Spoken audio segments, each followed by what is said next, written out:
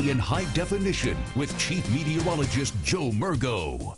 And look at the 30-day rainfall. Where you see the white, that's over 20 inches of rain in the past month, and a lot of that very recently. In this big purple area, we're talking over 10, 15 inches of rainfall, and that is about, and, and you see these purple colors, that's over three times the amount that you usually would have. The average rainfall for 30 days, some places six times the amount of the average rainfall over the past 30 days. So a, a, serious situation there in the middle of the nation. And fortunately, not widespread rainfall for today, but they're going to be isolated, soaking thunderstorms. There's actually a tornado warning for that one that is west of Dallas. So they're not getting widespread rainfall, but they're still going to have isolated strong storms. Around here, we've had a couple of showers so far. The real shower and thunderstorm activity still off to our west with a front that is slowly coming our way.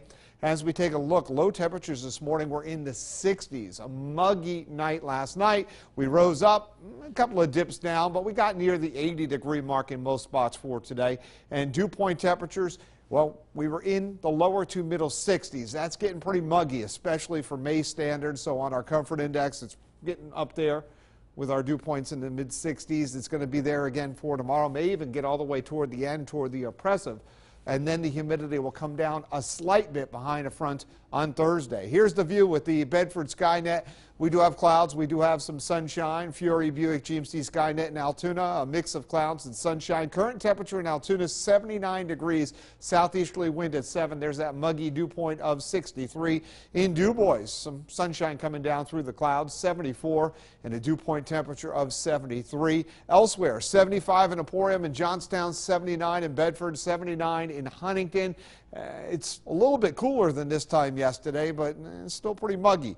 Geo in Philipsburg, 74 degrees. He had one hundredth of an inch of rainfall and just some sprinkles for Paul and Blandburg with a mostly cloudy sky. Satellite and radar does show there's a band of stronger showers and thunderstorms off to our west, which will be shifting our way all with a front that's approaching. Tonight, a shower in some spots, maybe a rumble of thunder. During the day for tomorrow, scattered showers and thunderstorms, but as future track is showing you, still going to be isolated. Some places getting a downpour, other spots missed.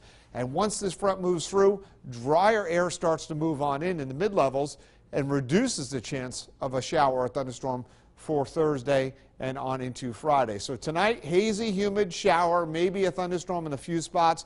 Low temperatures, mid 60s. That's quite high for this time of the year. Warm and humid tomorrow, clouds, hazy sunshine, scattered showers and thunderstorms, especially in the afternoon. But like today, a lot of spots can be missed. Temperatures tomorrow night holding the 60s, 84 on Thursday.